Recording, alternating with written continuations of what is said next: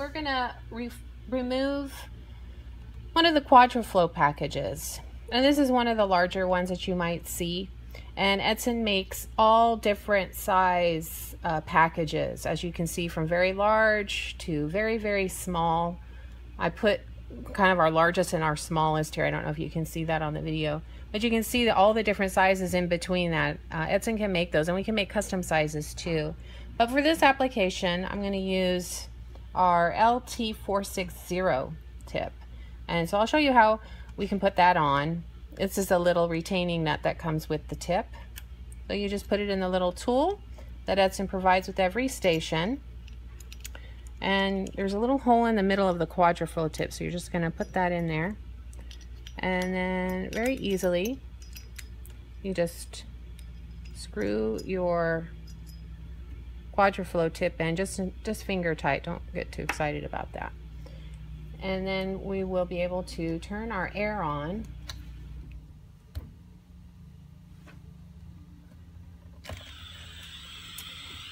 And once again, we're at about 8 psi, but I'm going to turn this up to about 12 psi, maybe 13. Um, the larger the tip, the more air that's coming out. You want to apply a little more air pressure. We can also adjust our temperature up a little bit. We're at 650 right now on the air side. We're at about 750 at the air side, so we'll go to about 800. Okay, and then quite easily you just put the tip right on top of the package.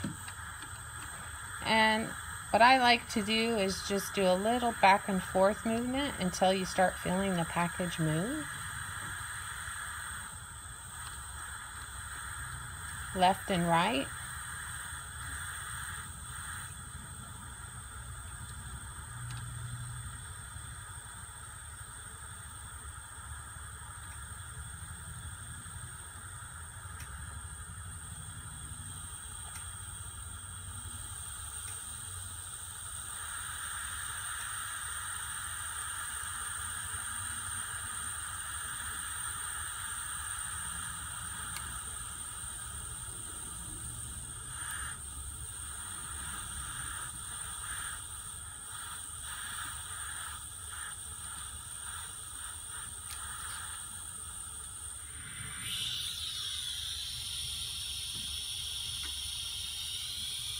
And we remove it quite easily with our suction cup and then we put it back on the holder.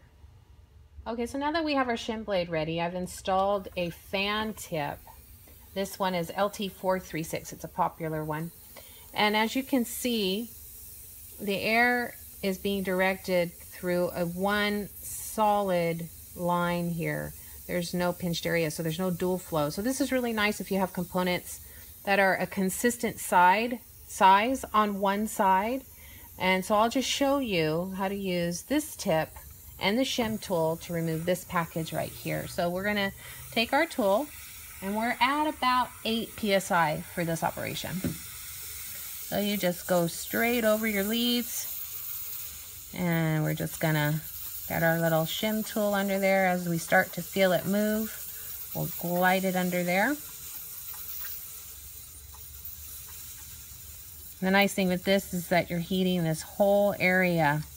So this whole side is going to come up pretty quick as you can see. Once it starts reflowing, uh, you can put your shim tool right under there. Now we'll work on the other side.